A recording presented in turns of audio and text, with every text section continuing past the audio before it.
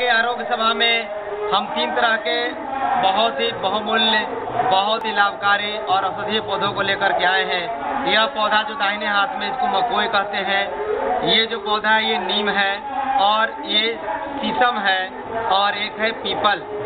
तो मैं सबसे पहले आपको ये शीशम के बारे में बताने का प्रयास करूँगा।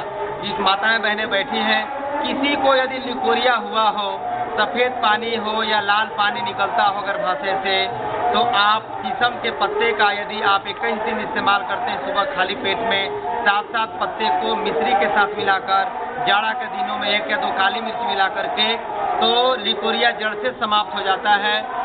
फिर प्रसूत की समस्या हो, पेट में धुंध हो, जलन हो, उनको भी ये दूर करता है। भाइयों में भी यदि सप्र दोष हो, या उनको धात निकलता हो तो ये शीशम उनके लिए बहुत ही लाभकारी है। इसके बाद में मैं आपको ये मकोई के बारे में बता रहा हूँ कि मकोई भी आप लोग बचपन से देखते आए हैं, बहुत इससे खाते भी हैं, पक जाने पे मीठा लगता है। पका हुआ फल। पका हुआ फल इसका यदि सेवन करेंगे तो उनको हीमोग्लोबिन बढ़ता है, खून बढ़ता है और इसका पंचांग यानी जड़ से लेकर के पूरे पत्ते को यदि आप इसका सेवन करेंगे, पीस करके एक एक चम्मच या दो दो चम्मच रस तो गैस कब्ज से लेकर के आप समस्या और जिनको लीवर खराब है फैटी लीवर हेपेटाइटिस जॉन्डिस है, उनके लिए भी मकोई बहुत ही लाभकारी है। फिर इसके बाद हम नीम एक पौधा लेकर के आए हैं। यदि किसी को शुगर ठीक नहीं हो रहा हो तो पाँच पाँच पत्ता नीम का लेंगे। साथ ही साथ आप यदि किसी को चर्म रोग हुआ है, खून खराब है, सफ़ेद दाग है तो नीम के पत्ते का यदि आप रस लेते हैं या पाँच पाँच पत्ता खाली पेट में इसका सेवन करते हैं तो खून साफ़ हो जाता है, चर्म रोग दूर होता है और इसका लेप लगाते हैं शरीर में तो चर्म रोग इससे ऊपरी हिस्से का ठीक हो जाता है। किसी को यदि ब्लीडिंग ज़्यादा होता हो चाहे मासिक धर्म में, या आपको जो अर्थ हो जाता है, बौसीर हो जाता है, उसमें भी तो पीपल का कोमल पत्ते का चार पाँच पत्ते का रस लेंगे तो आप उससे ब्रीडिंग बंद कर, कर सकते हैं। या जिनको नक्सीर हो जाता है कान नाक से खून निकलता है उनको भी यदि आप तीन चार बूंद नाक में डाल देंगे तो नक्सीर ठीक हो जाता है।